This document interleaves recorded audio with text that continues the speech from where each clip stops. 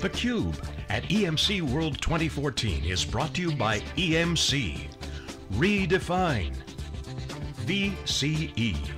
Innovating the world's first converged infrastructure solution for private cloud computing. Brocade. Say goodbye to the status quo and hello to Brocade. Welcome back. We are here at EMC World 2014, day three of wall-to-wall -wall coverage on theCUBE. I'm Jeff Frick. As you know, the CUBE goes out to the events, extracts signal from the noise, we get the smartest people in the room, we get them on the cube, we ask them lots of great questions. This is our fifth year at EMC World. It's a very special show for us because it's actually where we launched the Cube in 2010. So we're going to jump right into it. I'm joined my next segment with Ganesh Radrik Radkrishnan. Did I get it wrong? Did I get it right? You, you did well. You did Pretty well, close, yeah. I'm sorry. CEO of Wharfedale Technology Group. Welcome to theCUBE. Thank you. Thank you for having me here, Jeff. Pleasure. So, big big announcement. You guys are all about SAP virtualized HANA. There's some announcements going on. Tell us uh, tell us what's going on. Oh, uh, there are a lot of great stuff going on, and uh, we are very uh, excited to have the announcement coming yesterday from uh, Pat, our VMware CEO, on announcing SAP to production HANA to run on VMware vSphere 5.5.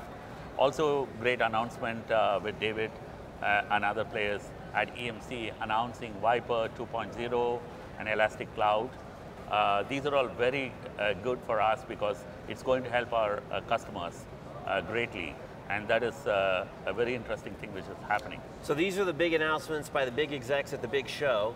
You're out in the field working with real customers on the ground, getting this stuff implemented. So tell us a little bit about kind of what's happening in the field within your customer base on some of the move to virtualization and uh, what you're seeing.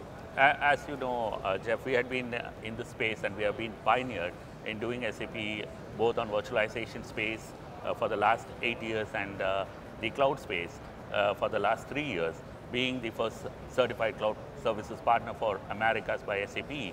We had been engaged with a lot of customers. We have pretty close to 170 plus enterprise customers we work on on the Fortune 500 companies. Uh, what we have largely seen initially, SAP was customers were having the struggle to move their big irons into a virtual machines. Now we have trespassed that phase, which the last two, three years, now SAP customers are very welcoming to move on. Still there is a lot more to go, even though all these new things are coming in. But there is a very big change in the market where when we started cloud three years back, the interest shown by SAP customers, we thought it was going to be more mid, mid-range customers, but to our surprise, it was so uh, encouraging that enterprise customers wanted to initially run those uh, project systems, test and development systems, or sandboxes we call it.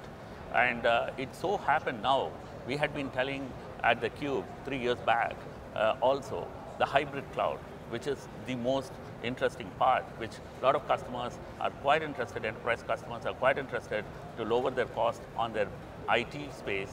So not only the first uh, thing, virtualization helped them to lower the cost, but uh, doing a hybrid cloud is going to help furthermore.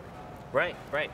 So, so you're saying you expected the, the, the mid-range customers to be more um, aggressive in their migration to the cloud, but, but you're happy to see the enterprise guys are going there as well. But I, I would imagine as part of their kind of larger virtualization strategy, was it just because it was so difficult to migrate the SAP stuff? What, what, what, what did you think was holding them back? It's basically because as uh, we all understand, SAP uh, being a 40 years old product and it has come through a long uh, way, uh, still there are certain components within SAP because it is a business driver, it is not just one simple product, it has right. more modules to it.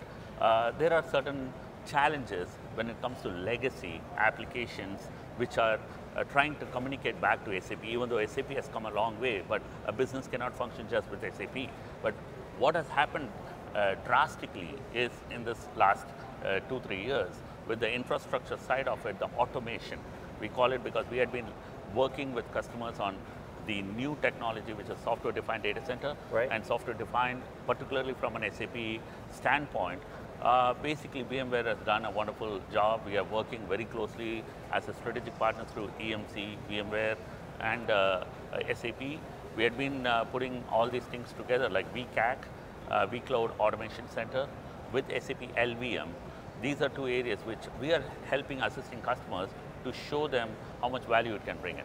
Right, well clearly the SAP EMC relationship is very strong. Bill McDermott joined live during the keynote yesterday. Uh, we had some guests on uh, yesterday as well talking about, about the alliance.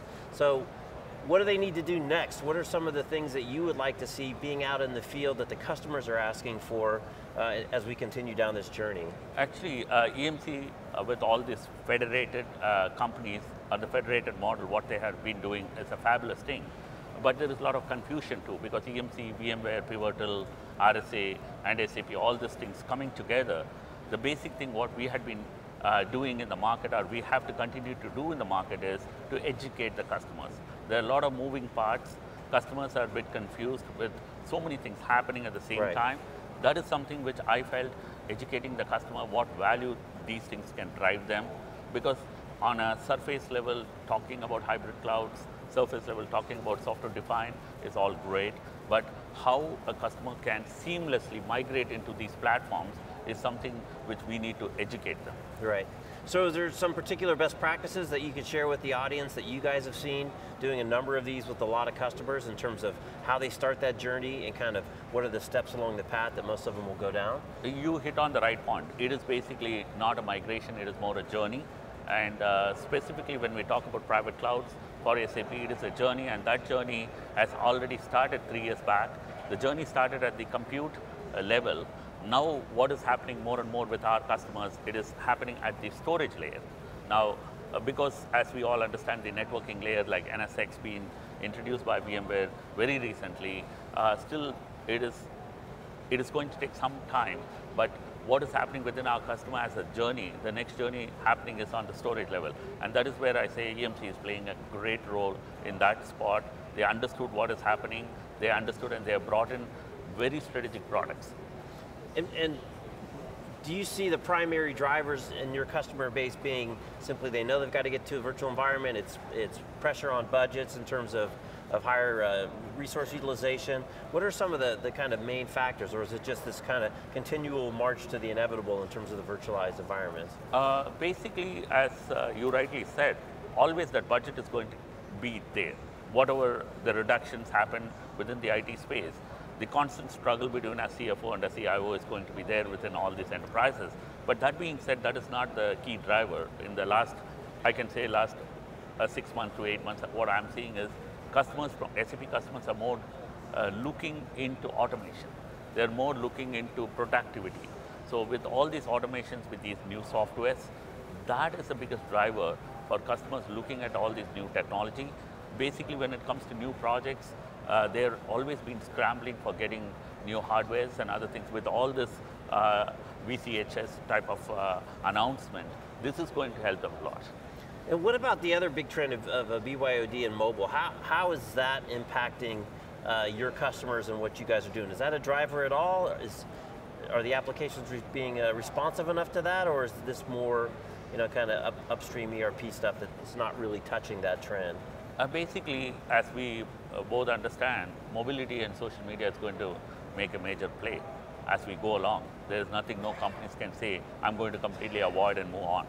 Uh, within SAP customers, this is something very interesting because that's where HANA comes into play. Uh, we are doing a lot of uh, HANA-based work.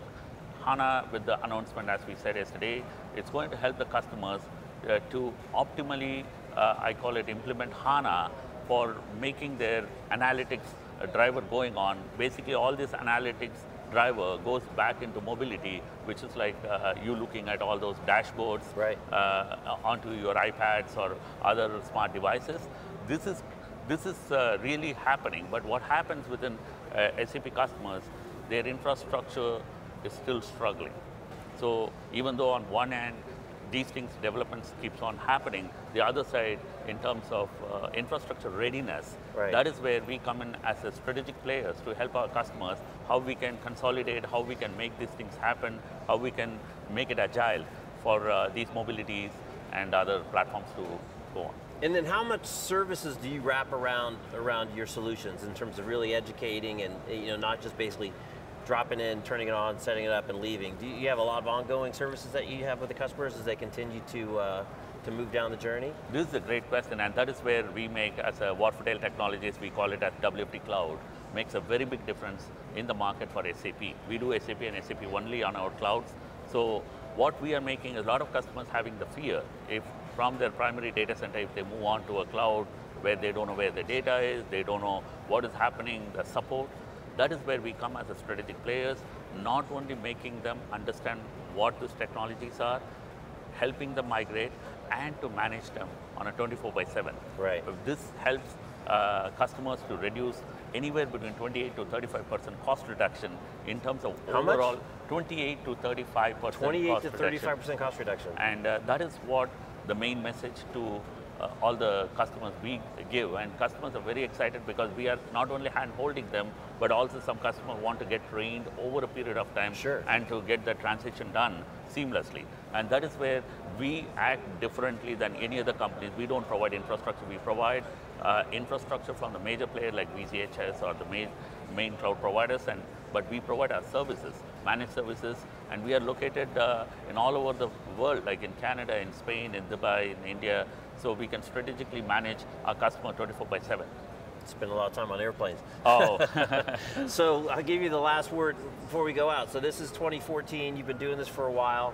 What do you think we're going to be talking about in 2015 uh, that we're going to see in this next 12 months? Uh, basically, the next 12 months is going to be very interesting and very challenging.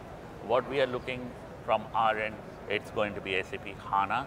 SAP HANA going in production on a virtual stack. This is going to help customers not only drive all those VMware uh, software capabilities like uh, their high availability, their disaster recovery uh, softwares, all these things can be combined and as well as like new areas when it comes to EMC ViPR 2.0 type of uh, products, it's going to make it more software defined with SAP LVM uh, type of product going to be tightly integrated. It is going to be an interesting journey the next 12 months because customers, we have to go back to our customers, educate them on these technologies and also to help them get it done because one, announcing good products, but the other thing is making it happen in the market. Right. That is what we do. Right. No, that's that's exactly right. It, it, it's where the rubber meets the road. uh, You know, is where this stuff gets implemented. And we've been fortunate to have a number of customers on the show as well over these last couple days, which is why we love to get them on because it's great to talk about. But at the end of the day, you got to put it in play. You got to see business value, and it's got to work for you. So, Ganesh, thanks for coming on the Cube. Appreciate you. you stopping by. So again, this is Jeff Frick. We're on the Cube VM World. Excuse me, EMC World. I've been doing that all week. it's part of the federation, so that's all good. At EMC World 2014, day three, wall-to-wall coverage, two cubes, six hosts, more crew than we can count. We're having a good time. We'll be back with our next guest after this short break. Thank you for having me.